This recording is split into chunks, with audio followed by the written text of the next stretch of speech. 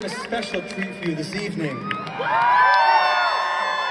From Seattle, Washington. You know her from Give Up. You know her because she's a fucking amazing singer-songwriter, Miss Jen Woods.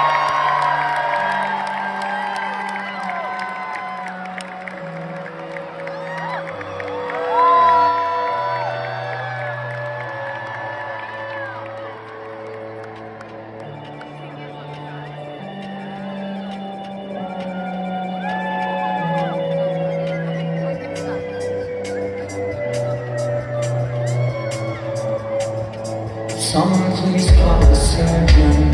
You can crack